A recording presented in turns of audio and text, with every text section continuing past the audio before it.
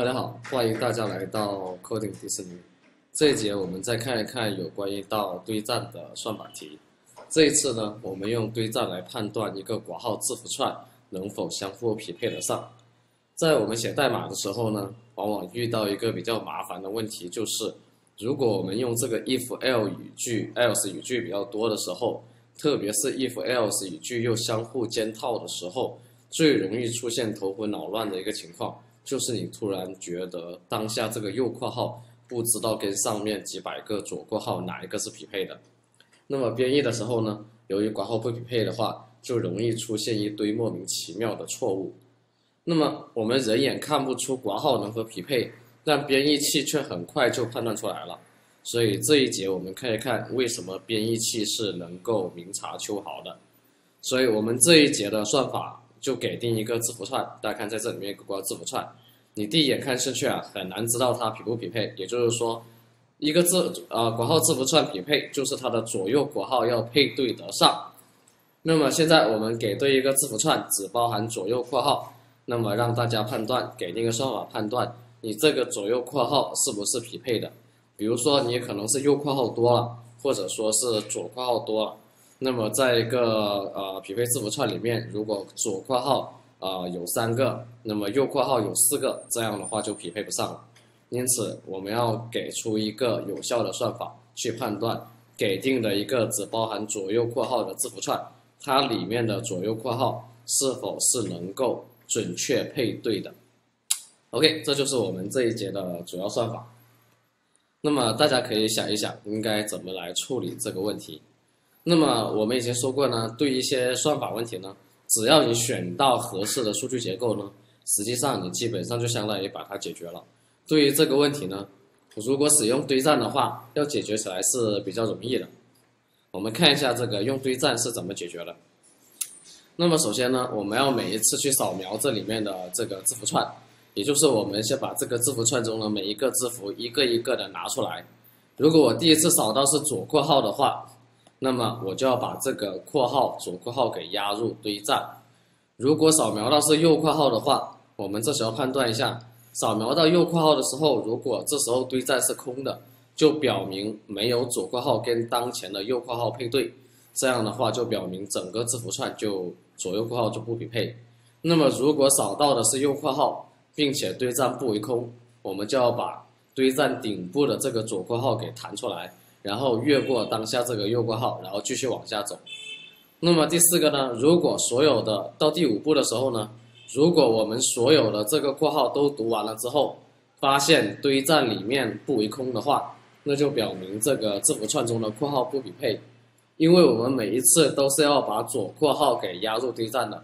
当我们把所有的这个括号字符串都扫描一遍之后，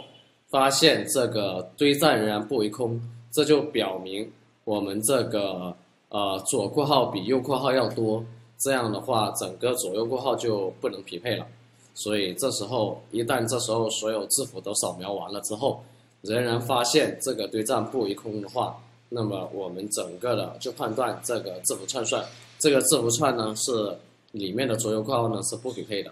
那么如果我们扫描到最后一个括号，那么这时候发现括号呃，如果我们扫描到最后一个右括号，然后发现这个把这个堆栈顶部的这个元素弹出来之后，发现这个堆栈正好为空，这就表明我们这个字符串里面的括号就正好匹配了。所以根据这里面的算法呢，我们就有了以下的这个编码。在我们的代码实现中呢，主要分两步，一个是叫做这个 pairing method，它主要用来匹配这个字啊括号是否匹配。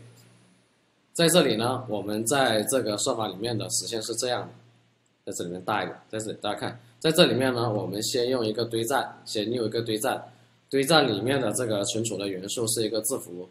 这个 parents joy 呢是用来存储这个括号字符串的。在这个 isMatch 里面呢，我们就实施刚才所讲的这个五步的算法。第一个 for 呢，我们先扫描这个括号字符串里面的每一个字符，由零开始到这个字符串的最后一个字符结束。那么一旦我们去扫描每一个字符的时候，发现当前这个字符是左括号，我们就把这个左括号给压入堆栈。如果发现当前的字符是右括号的话，我们要做一下判断。如果这时候这个堆栈是空的话，我们就认为它不匹配。如果这个堆栈不等于这个左括号，我这一步是多余的。实际上，在因为我们在对对这个堆栈进行压入的时候，我只是在这个左括号的时候才压入，所以实在实际上我在这个代码这一步判断其实是多余的。当然拿到代码之后可以自行把它给删除掉。这样的话，如果说当我们这边遇到是右括号的时候，这时候堆栈为空，就表明没有多余的左括号能够跟当下这个右括号去匹配。这样的话，我们就要返回是一个 false。如果是我们读到了一个非括号的字符，我们就抛出一个异常。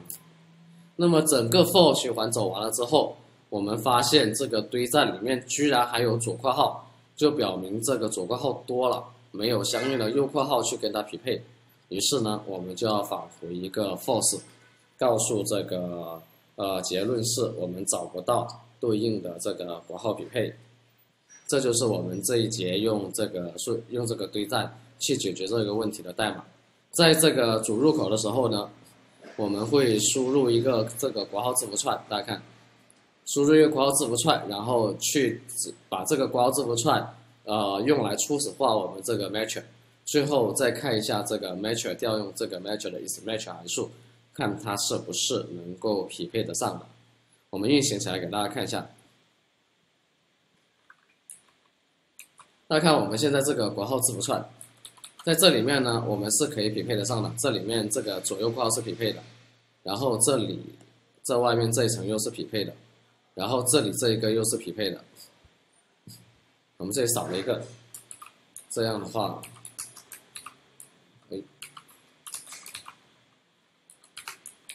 那么这样的话，我们这个括号整个是匹配的。大家看，如果我们用人眼去看的话，实际上是非常难以去察觉这个括号是不是匹配的，一看就晕头了。那么我们用我们的算法走起来看一下，那么起来之后。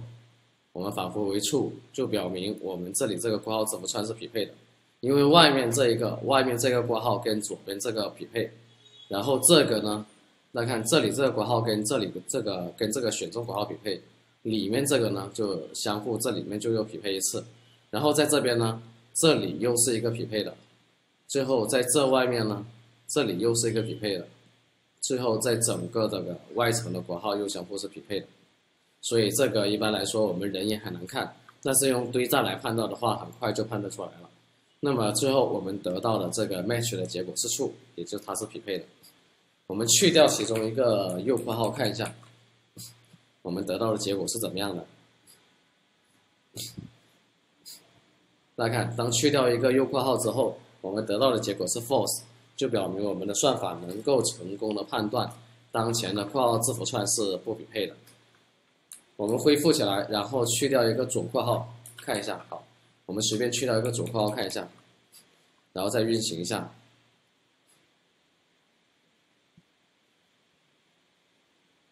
那看又是 false，也就是说，我们只要这里面的括号左右括号不匹配的话，我们这个算法都能够正确的返回它这个匹配与否的这个结果。